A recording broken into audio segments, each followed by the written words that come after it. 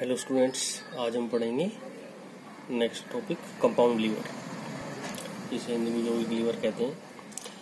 Compound liver होता है, वो कई सिंपल लीवर से मिलकर बना होता है। जैसा आप यहाँ पर देख देख सकते हैं। इसमें एक ये है, फिर ये है एंड देन ये और एक फिलकर्म यहाँ पर है, और दूसरे एक फिलकर्म यहाँ पर इसका आपको देख रहे हैं। इसके ऊपर एक भार डब्लो बिंदु एक पर नीचे की ओर लगा हुआ है। और हम यहाँ पर प्रयास पी लगा रहे हैं। नीचे की ओर, इस भार को उठाने के लिए यहाँ पर प्रयास लग रहा है नीचे की ओर। तो हमने माना एक बल आर आर छड़ बीसी द्वारा बिंदु बी पर नीचे की ओर लग रहा है। जब हम इसे ऊपर की, नीचे की ओर लगाएँगे तो ये इसे ऊपर की ओर उठाने का कोशिश करेगा। तो यहाँ पर जो रिएक्शन आएगी वो नीचे की आएगी। और इसके अपोजिट सिंपल यहाँ बिंदु सी पर, अगर ये नीचे की ओर है तो यहाँ पर ऊपर की ओर सिंपल इन दोनों का मान आर के बराबर होगा। बिंदु ई e, जब हम लीवर लेते हैं ए बी बिंदु ई e के परिधि हमने आघूर्ण लिया। जब हम इसके परिधि आघूर्ण लेते हैं तो ये तो इसे क्लोकवाइज घुमाने की कोशिश करेगा और ये जो आर है एंटी क्लोकवाइज घुमाने की कोशिश करेगा। तो आर इंटू बी बराबर हो जाएगा पी इंटू ए तो आर बराबर P into A upon P इसके बाद हम लेते हैं लीवर डी से। इसमें डी के अबाउट मोमेंट लेते हैं।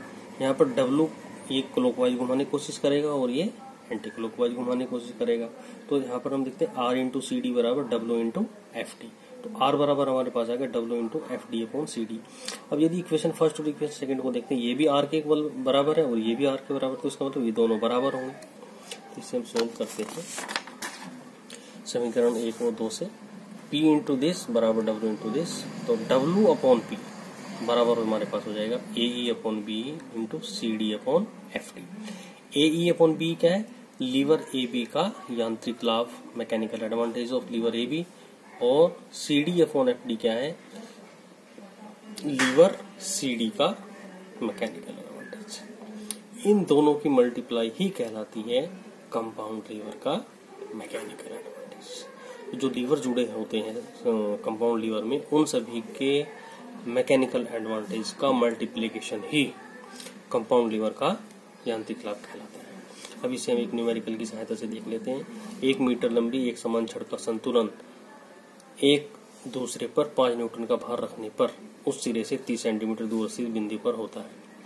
जब हमने यहाँ पर पाँच न्यूटन का भार रखा तो इसका जो संतुलन है, वो यहाँ से बीस सेंटीमीटर की दूरी पर नहीं है। उस सिरे से तीस सेंटीमीटर की, तीस सेंटीमीटर की दूरी पर होता है। छड़ का भार ज्ञात कीजिए। तो सबसे पहले तो हम इसका फिगर बनाएँगे। हमारे पास ए बी छड़ है, जिसकी लंबाई एक मीटर है। यहाँ से तीस सेंटीमीटर की दूरी पर इसका संतुलन होता है और ये डब्ल्यू न्यूटन यहाँ पर लटका हुआ है, जो यहाँ से बीस सेंटीमीटर की दूरी पर। तो इसमें हम फलक्रम सी के अबाउट इसका मोमेंट ले लेते हैं। W into this W into C D ये पॉइंट हमारे पास डी है। W into C D minus का फाइव इंटू ए सी बराबर ज़ीरो सी डी की वैल्यू ज़ीरो पॉइंट टू और ए सी की वैल्यू ज़ीरो पॉइंट थ्री तो डब्ल्यू का मान हमारे पास आ जाएगा सेवन पॉइंट टू किलोमीटर ठीक है? इस क्वेश्चन को मैंने इंग्लिश में भी लिख दिया अगर आप इंग्लिश में देखना चाहते हैं तो इंग्लिश में वैसे मैं नोट्स आपको शेयर कर ही रहा हूँ पीडीएफ में। Okay thank you